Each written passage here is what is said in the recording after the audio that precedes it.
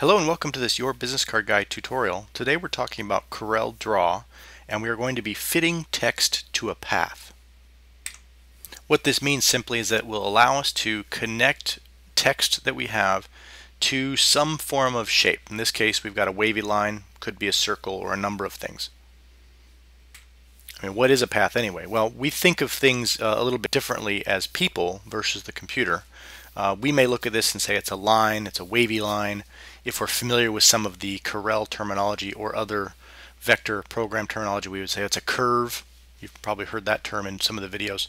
Um, the computer keeps track of all of the pixels. It knows the relationship of every single one, where we just see a black line going from left to right, right to left, or a circle. The computer has what it considers to be the end point, the beginning point, and every point in between. Uh, because of that relationship, we can do some pretty neat effects uh, just as long as we understand the terminology. Uh, it'll help us find the right tools in Corel as well as other software we might use. So for something like this, and this is just a simple example, I'm going to come up here to a uh, create a two-point line and I'm going to convert this thing um, whoops go up here I missed it again. Shape tool, there we go.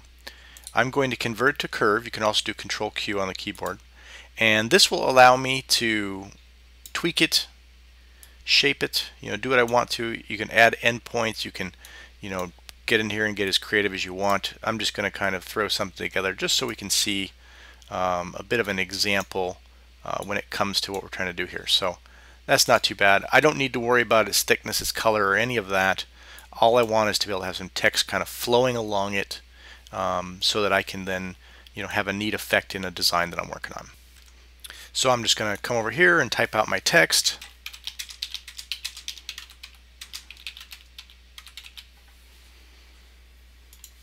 And I can simply right click and drag this over my path, my shape here, changes the cursor, release, and then you can choose fix text path. Those of you who remember my uh, video on power clipping, uh, if you know this was a shape that you could clip into, you have that option as well. Uh, by hitting this, it simply takes that and will trace it along the path that it's going on. And uh, you, you can see here that now I've got it curving down along, up and around. Now, depending on the length of the shape the font you're using, the length of the text you have, you know, whether it's one word, if it's a sentence, if it's, you know, you're trying to get a whole clause, a big paragraph in there. I had one client who we kind of did a, uh, a round around kind of a thing, and so they had quite a bit they were trying to say. Um, you can obviously choose the font size you want, and you can also do some things to the uh, font to stretch it out. You'll notice this one appears a little bit stretched out. Um, I use the shape tool on that and I'll have a tutorial up on how to do a lot of that stuff as well. Um, but I will show you this one effect here. You'll notice here we've got this little, it's easier to see here. See this red right here? This gives me uh, essentially a grabber which will allow me to slide this text along the path and move it up or down based on what it is I'm trying to achieve. So it gives me a bit of an opportunity. You'll notice here that it's kind of wrapping. You'll notice the texture at the end is dying off. See this? Well, this is because in this instance, this path that we're working with, the computer says it ends here. And that was, again, based on the, the object that I am using, um, it might end. Some objects, it'll actually wrap around and, and travel underneath. But again, it just depends upon what you're using in terms of how the computer is viewing it. Does it have a beginning and end, or is it something that has, you know, the ability more of a uh, another effect where you can kind of move around to the other side of it?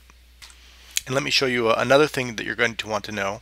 Um, when you have something like this, even if you've stretched this off, currently these two are connected, and I am essentially stuck with this line um, down here if you want to have the text by itself, you know, if, if this effect is what you want, then you're, you're great, you're gold. But if you want to have the text by itself like it is up here, you need to essentially break these two things apart.